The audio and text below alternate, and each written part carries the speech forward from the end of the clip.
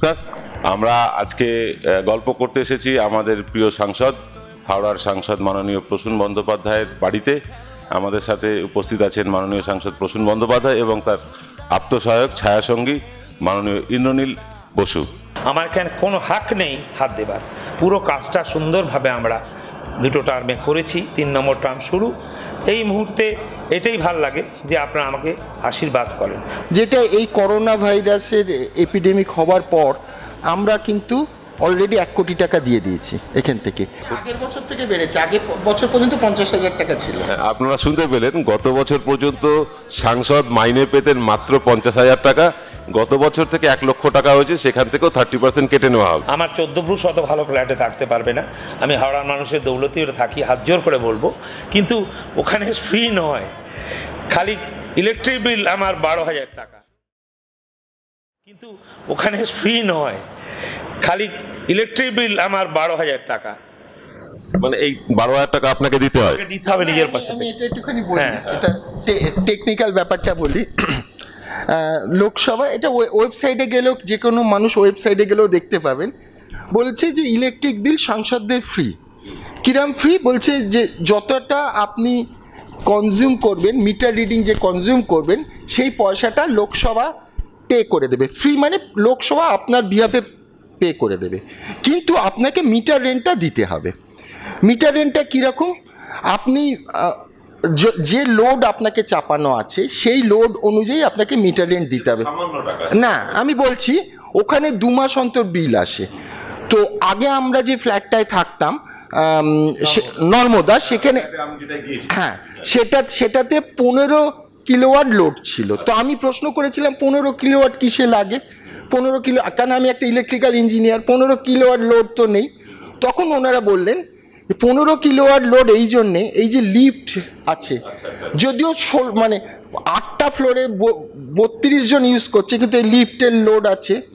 রাস্তায় যে আলোগুলো দেওয়া আছে এর লোড আছে। এই সব মিলিয়ে আপনার পনেরো কিলোওয়াট লোড তখন ছিল পনেরো কিলোওয়াট মানে ন হাজার টাকা বিল মানে এটা হচ্ছে মিটার রেন্ট যেটা আমাদের এখানে ধরুন আপনি যদি এক পয়সা কারেন্ট না পড়ান তাহলে আপনাকে মিটার রেন্ট দিতে হবে। ওদের ওখানে হ্যাঁ ওদের ওখানে দিল্লিতে সিস্টেম হচ্ছে মিটার রেন্টটা আপনি এখানে কি হচ্ছে, পঁয়তাল্লিশ টাকা যে মিটার রেন্ট সেটা অ্যাডজাস্ট হয়ে যায় যদি আপনি কারেন্ট পড়েন তাহলে আপনি দিতে হয় না, কিন্তু দিল্লিতে সিস্টেম সেরকম নয়। মিটার রেন্টটা আলাদা, আর আপনি যেটা কনজিউম করবেন আলাদা। তো সেটা মোটামুটি ন হাজার টাকা পড়তো। তো আমরা এই জাস্ট করোনার আগে আমরা নতুন বাংলোতে শিফট হয়েছি, শুনেছি ওখানে পঁচিশ কিলোওয়াট লোড দেয়া আছে। কারণ ওই দুর্ভাগ্য আর সৌভাগ্য তার ভেতরে লিফট আছে এবং আরও অনেক কিছু ব্যবস্থা করা আছে। পঁচিশ কিলো ওয়ার্ডের জন্য কত পড়বে? তো আমি খোঁজ খবর করছিলাম, ওরা বলছিল অ্যাভারেজে এটা পনেরো হাজার টাকা আসবে। আপনি মজা দেখুন। তাহলে পনেরো ইন্টু বারো, পনেরো ইন্টু ছয়, কেন দু মাস অন্তর তো? তাহলে ছটা ইনস্টলমেন্ট বছর হচ্ছে।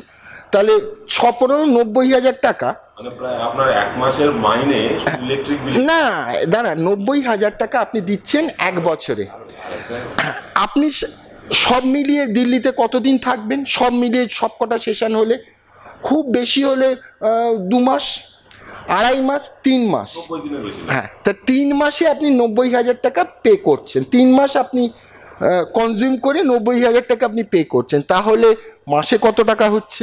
গড়ে দিনে এক হাজার টাকা আপনাকে পে করে তাই তো হচ্ছে। ওরা ওরা বলছে যে আমি ইলেকট্রিক বিলে তোমার যেটা আছে সেটা দিয়ে দেবো। সেটা দিয়ে দেবো মানে কি? এখন ধরুন আমি উচ্ছৃঙ্খল হলাম। আমি ইচ্ছে করে সব আলো জ্বালিয়ে রাখলাম আরও গ্যাজেট লাগালাম এই লাগালাম। সেখানেও একটা ক্রাইটেরিয়া আছে। পঞ্চাশ হাজার ইউনিটের বেশি আপনি এক বছরে যদি কনজিউম করেন তাহলে আপনাকে তার জন্যে এক্সট্রাটার জন্য পয়সা দিতে হবে। আচ্ছা। হ্যাঁ মানে আমি আমি উচ্ছৃঙ্খল ইচ্ছে করে ফ্রি বলে কিছু নেই। অ্যাবসলিউট ফ্রি করতে আপনাকে তো বেশি দিতে হচ্ছে। আচ্ছা এবার এবার গ্যাসের গ্যাসের পে করতে হচ্ছে। আচ্ছা গ্যাসে কি আপনারা ভর্তুকি ছাড়া যে দাম সেইটা সেটাই হ্যাঁ ভর্তু ওখানে এমপিদের জন্য ভর্তুকির কোনো ব্যবস্থা নেই। এই অনেকে বলে যেরকম আমার বন্ধু বান্ধবরা বলে আরে তোদের তো আমি বলি দেখ দিল্লিতে গেলে বলে দিল্লিতে গেলে তুই রোগা হয়ে যাস। আমি বললাম, খাবার জোটে না। বলছে খাবার জোটে না কেন? তোদের তো ফ্রি সব পাওয়া যায়। ঘণ্টা ফ্রি পাওয়া যায়। হ্যাঁ আমি আমার কথা বলছি না আমি এমপিদের কথা বলছি প্রত্যেকটা জিনিসের আমি বলছি ধরুন আমি খাই না কারণ খুব একটা ভালো কোয়ালিটি আপনারা হয়তো একবার কেউ গেস্ট গেল গিয়ে ভাবলো খেলো খেয়ে ভাবলো খুব ভালো খেলাম। কিন্তু যদি আপনাকে পাঁচ দিন পর পর খেতে হয় তা আপনার কাছে ওটা একটা যন্ত্রণা হবে। পার্লামেন্টে পা- পার্লামেন্টে বলছি সাঁই- সাঁইত্রিশ টাকা ভেজ থালি। হ্যাঁ, এইটা নিয়ে আমার একটা অভিযোগ আছে মানে সবাই যেটা বলেন আর কি হ্যাঁ। যে সাংসদরা এত টাকা বেতন পান হ্যাঁ, এক্সিকিউটিভ ক্লাসে যাতায়াত আমার আমার আমার ব- আমার আমার বলাটা শোভা পায় কিনা জানি না। তিরিশ টাকা সাঁত্রিশ টাকায় খাবারও পাচ্ছেন সাঁত্রিশ টাকা একটা ভেজ থালি। ভেজ থালি। থালি মানে কি? আপনাকে সেখানে কোনো আইটেম রিপিট হবে না। মানে এই ভাবছেন যে থালি আমাদের হ্যাঁ বাংলায় থালি মানে কি? ধরুন আপনি ডাল ভাত তো পেট ভরে পেট চুক্তির থালি নয় কিন্তু। পেট চুক্তির থালি নয় খোপ কাটার ঘর আছে। মানে না ওই ওই এক কাটরা ভাত দেবে দুটো রুটি দেবে দু রকম সবজি দেবে আর একটা পাঁপড় শাঁকা দেবে। সে পাঁপড় শাঁকাটা বেশিরভাগ দিন পাওয়া যায় না শেষ হয়ে যায় পেট চুক্তি। মুশকিলটা কি জানেন? এখন বলবেন যে ওখানে যখন অডিট হয় পার্লামেন্টে অডিট হয় দেখা যায় এই ক্যান্টিনের বাবদ এত টাকা খরচা হয়েছে। আমি যতদূর জানি পনেরো হাজার স্টাফ আছে পার্লামেন্টে তারা খাচ্ছে। তারা খাচ্ছে তো। এবং বলতে খুব বাজে লাগে মানে খুব আমার খারাপ লাগে বাড়িও যাচ্ছে তাদের টিফিন কৌটো টিফিন কৌটো করে তারা কিনে নিয়ে যাচ্ছে তারা ফ্রি নিয়ে যাচ্ছে নিয়ে যাচ্ছে। তাহলে যদি এক টাকাও সাবসিডি লাগে তাহলে এই সাবসিডিটা কজন? সাতশো চল্লিশ জন এমপির ভেতর কজন খায়? হ্যাঁ এবং আমি তো এমপির পিএ আমিও খাই না। কিন্তু অথচ বলছে যে ফ্রি খাওয়া হচ্ছে এটা অদ্ভুত সিস্টেম মানে আমি বলছি আজকে আজ করার জন্য প্রতিবাদ আছে আমার। আমি জানি না সাধারণ মানুষ আপনারা জানতেন না বলে আমরা তুলে ধরছি ইন্দ্র আমার সব বলে দিচ্ছে। কিরম আমরা তো চলে এলাম ঢুকে হাউসটা ছেড়ে। হাউসটা ছেড়ে চলে আসা উচিত হলো না পুরো এন পুরোটা বলতে হবে। কেন আমি বলতে বসেছি? গ্যাসের টাকা দিতে হবে। গ্যাস আমার কত আসে? নর্মদায় আসতো ভাবুন এই দু মাসে পাঁচ হাজার টাকা। দু মাসে পাঁচ হ্যাঁ হাজার পাঁচ হাজার টাকা। আবার এইখানে কত আসবে জানি না। একটা দারুণ ডুপ্লেক্স পাঠিয়েছে আমাকে। আমি চাইনি। আমাকে গভর্নমেন্ট বলেছে আপনি ওখানে আসুন। আচ্ছা তৃতীয় যেটা সব আমরা কত ইজি কত যেন আনন্দে আছি হ্যাঁ? এবার ফার্নিচার সোফা আপনার পর্দা আপনার সব কিছু যেগুলো দিচ্ছে টেবিল খাট হ্যাঁ, বিছানা। সবকিছুর ভাড়া ভাড়া আছে। এবং ছ মাস অন্তর ভাড়া। আচ্ছা। এবং এবং আমি ওই সিপিডাব্লিউডি তে আগে কন্ট্রাক্টারই করতাম ওদের সঙ্গে একটা সক্ষতা আছে, তা আমি জিজ্ঞাসা করেছিলাম, এই ভাড়াটা তোমরা কি হিসেবে ঠিক করো?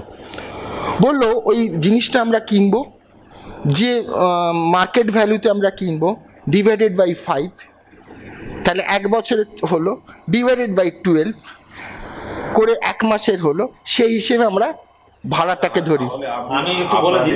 আমাদের কাছে যদি পয়সা থাকতো আমরা আমাদের সাথে ইন্দ্র বলছি আমি লাস্ট বলে দিই যে এটা কিন্তু আপনাদের শোনাবার জন্য না আপনাদের জানার জন্যে। আমি এমপি একজন হয়েছি একদম অন্য জগৎ থেকে।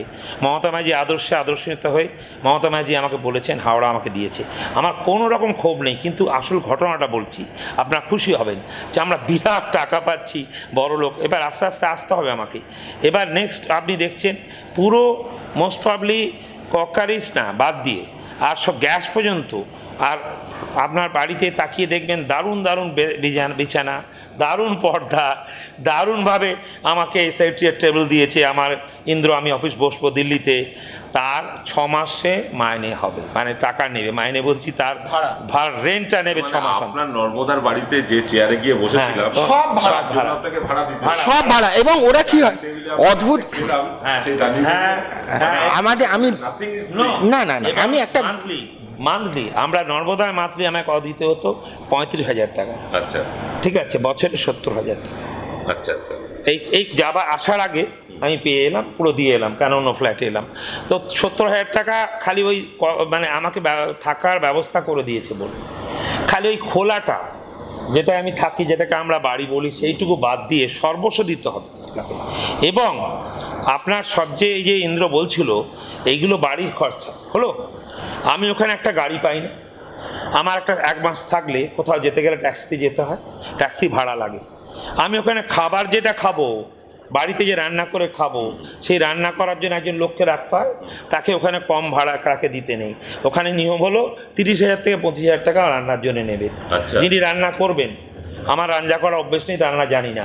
তিনি খাবার তৈরি করলেন তিনি খাবার খেলেন খাবার বাইরে বাজার থেকে আনতে হলো। এটা তো থ্রু আউট দ্য ইয়ার. এখানে না না থ্রু আউট সে বেচারা কোথায় যাবে?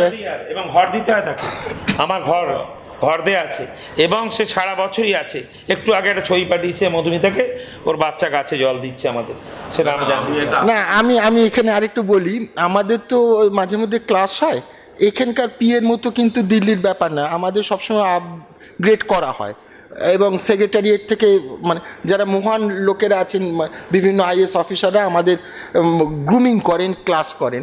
তো এইবার যখন আমি তিনবারে পিএ হয়েছি, কিন্তু এইবার যখন আমরা প্রথম গেলাম, তখন আমাদের লোকসভা যিনি সেক্রেটারি ম্যাডাম আছেন, তিনি ক্লাস নেওয়ার সময় বললেন, দেখো, এ, তোমরা তো অনেকেই আছো যারা তোমার এমপি সাহেব নতুন এসছেন দেখবে সিপিডাব্লিউডির লোকেরা তোমাদের কাছে আসবে বলবে ম্যাডাম বা তোমার ম্যাডামকে বলবে বা তোমার আমরা।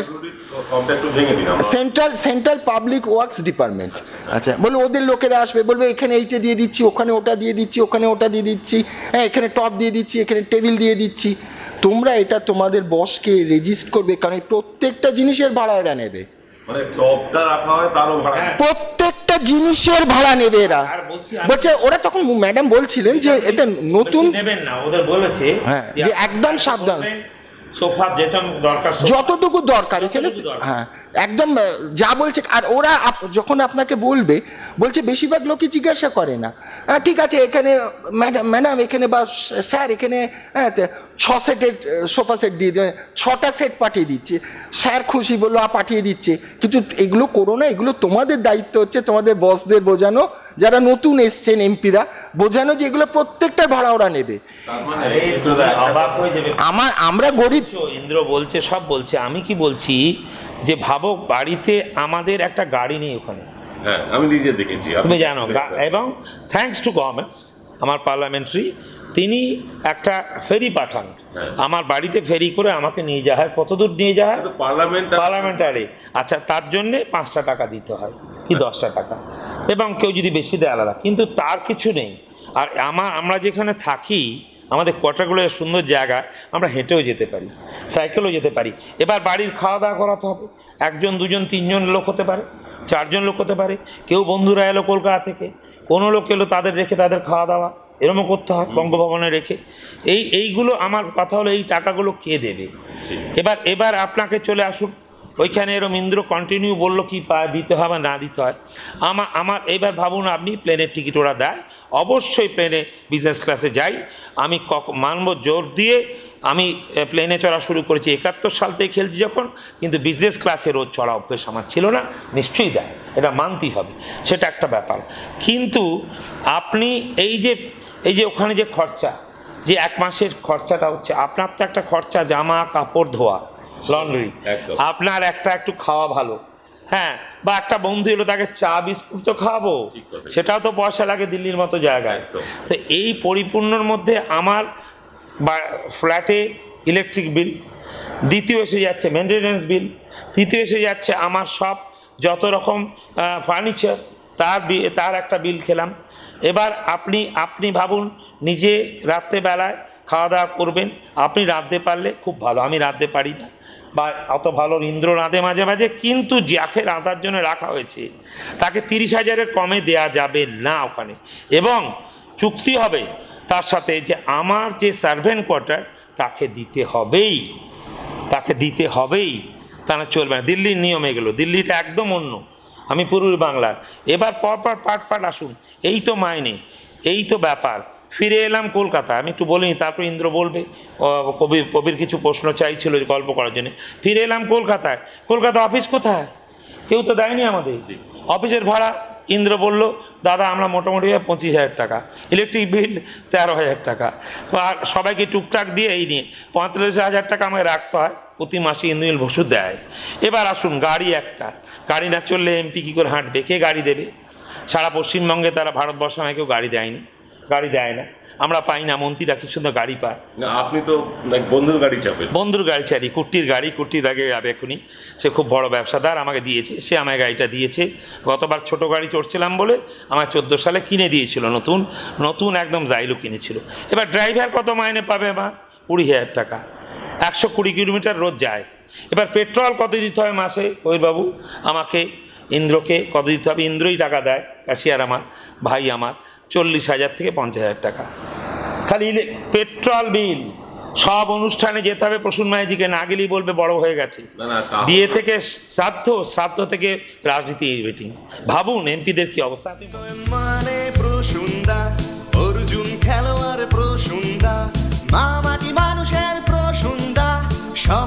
হেই প্রসুন্দা, উন্নয়ন মানে প্রসুন্দা, অর্জুন খেলোয়াড় প্রসুন্দা, মা মাটি মানুষের প্রসুন্দা, সবার সাথেই প্রসুন্দা। বন্দে মাতরম বন্দে মাতরম বন্দে মাতরম বন্দে মাতরম।